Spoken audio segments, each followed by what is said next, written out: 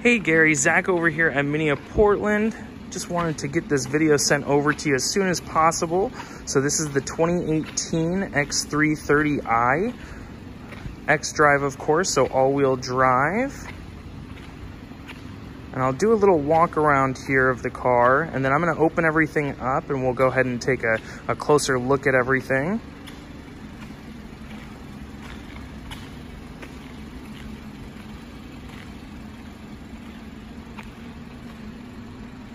Alrighty, Gary, got everything open up for us here.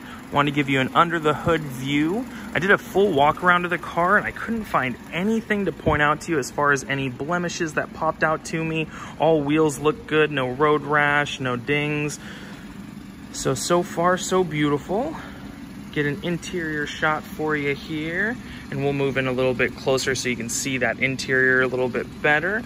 Let's go ahead and walk around here, take a look in the back.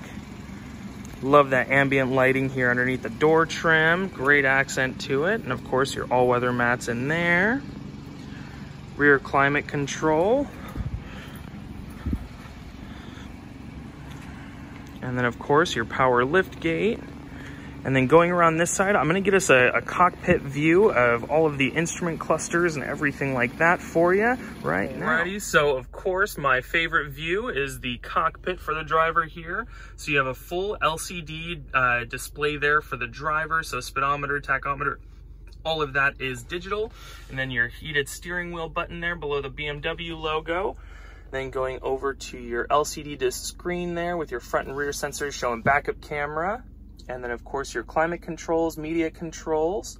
Then going down this way, you have your drive selection, your infotainment controller there, your parking brake, and of course that is an electronic gear shifter. And then moving into the back here, we have our rear climate control. And like I said, I did a full walk around of this car inside and out.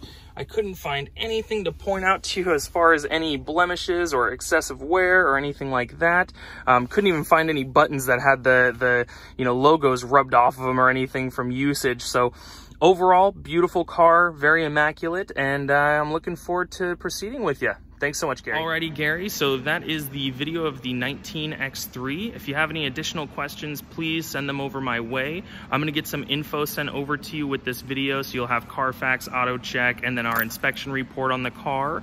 And then um, next, I'll probably get the VIN and miles and stuff from you on your car, work up a trade appraisal so we can see if we can match or beat that price CarMax gave you. Apart from that, everything looks good and I'm excited to move forward. Thanks so much, Gary.